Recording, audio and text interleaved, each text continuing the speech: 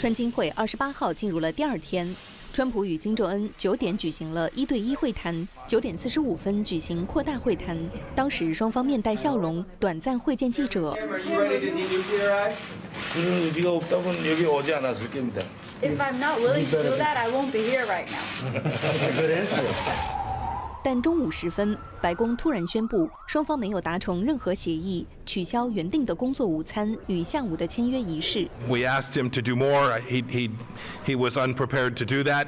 下午两点，美方单独召开记者会。川普表示，双方的分歧主要在于金正恩希望以拆除宁边的核设施来换取美国撤销制裁，但美国认为只拆除宁边的核设施远远不够，因为美国发现朝鲜还有其他不为人知的核设施。 They were willing to denuke a large portion of the areas that we wanted, but we couldn't give up all of the sanctions for that. So he was willing to do Yongbyon, but you wanted more than that, I assume. We had to including- have more than that, yeah, we had to have more than And so that, you because needed there are more? other things that you haven't talked about, that you haven't written about, that we found. Including Yeah, the second uranium enrichment plant. Exactly, and we brought many, many points up that I think they were surprised that we knew. Even that facility, even the Yongbyon facility, uh, and all of its scope, which is important for sure, still leaves missiles, uh, still leaves uh, warheads and weapon systems. Um, so there's a there's there's a lot of other elements that we just couldn't get to. 这次我觉得他这个马上抽身走人，我觉得是非常正确的决定，非常正确的决定。这给了北韩方面一个很大的尴尬，他本来写出要价很高，也是给北韩方面一个警讯，就说你要停止这些秘密的所谓核武器和导弹发展。 川普总统用行动非常清楚地表明了美国的立场，就是尽管谈判中可能会有部分让步或者妥协，比如说去核的时间表，但是在重大原则问题上是不变的。金正恩肯定是读懂了这个信息，他也明白了糊弄川普总统不是个选项，在未来的谈判和其他的行动上，他才会更实际。美方表示，美朝存在分歧，但是谈判没有破裂，双方将继续接触。 Our teams have gotten to know each other better. We know what the limits are. We know where some of the challenges are.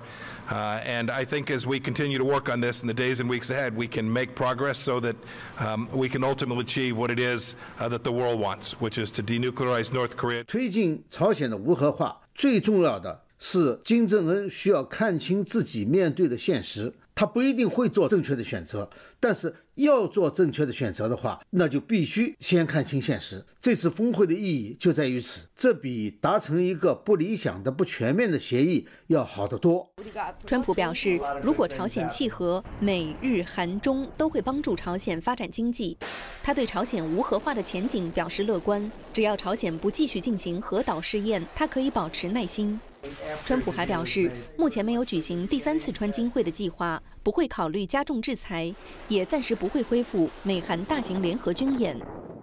新唐记者林兰纽约报道。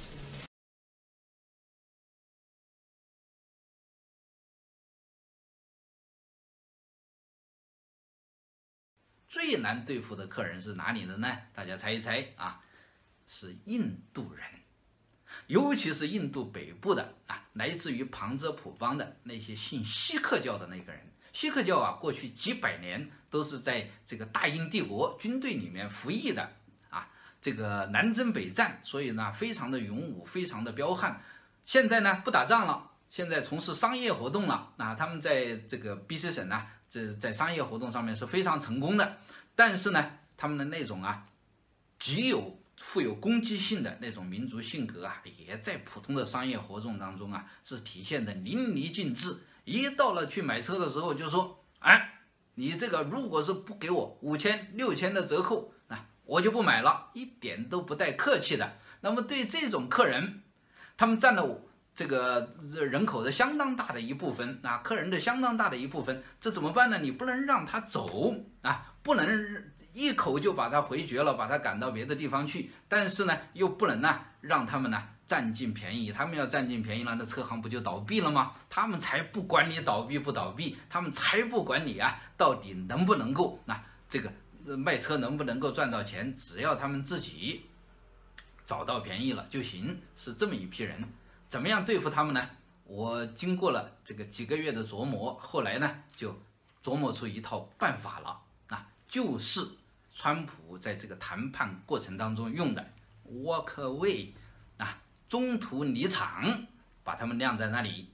因为你提的条件呢不合理，你是想来占便宜的，而我呢又是想成交的，那么怎么办呢？就是让你留在那个地方，还有一根线给你牵着，告诉你，你到我这里来，那我可以卖给你一辆好车，而且呢给你一个非常好的交易。但是你要是想用这种啊非常强势的办法想来欺负我，门都没有。我告诉你啊，你还愣了一点。那么我就告诉他，这辆车呢非常好，钥匙在这里，你再去看一遍，我们已经看过两遍了，再去看一遍，是你需要的，那么我可以给你保证，你能得到啊，你在这个城市能够得到的最好的交易。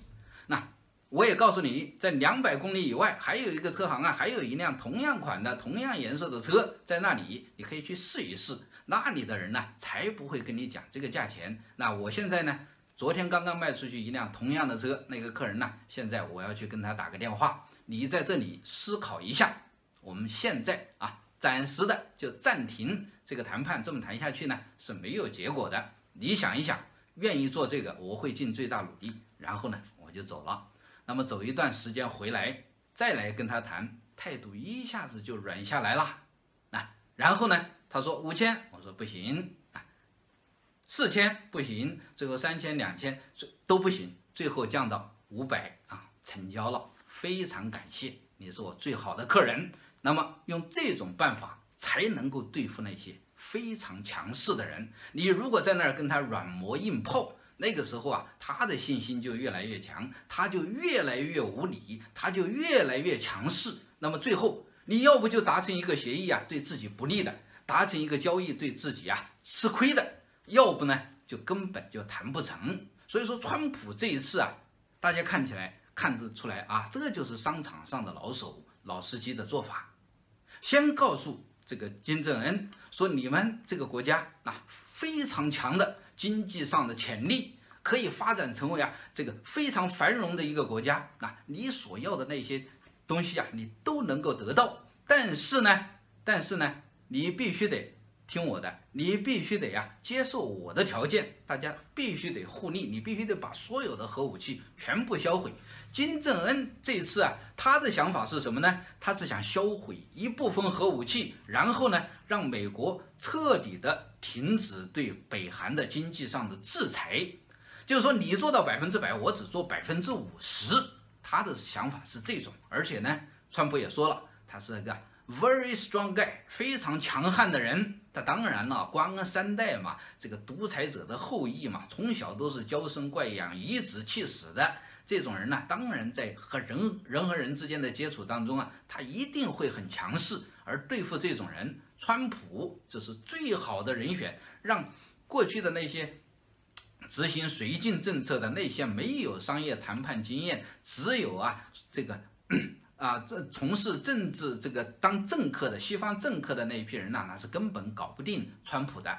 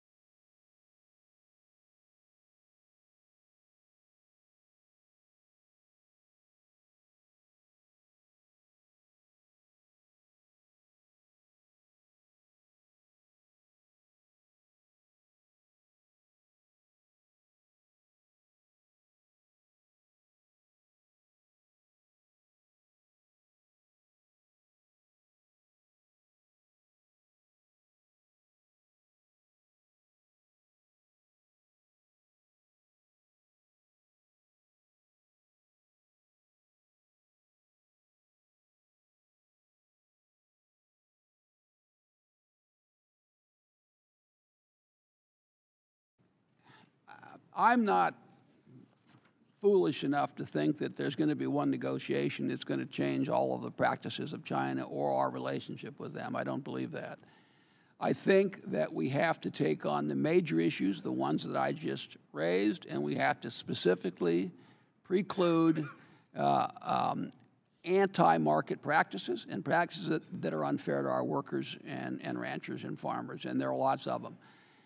At the end of this, this negotiation, if we're successful, there'll be a signing, and then there's going to be a long process of me working with the members of this committee and the, and the Finance Committee and the Senate and other members to assure that we actually live up to this. And I believe other problems will arise and they're going to have to be dealt with. I view this as a process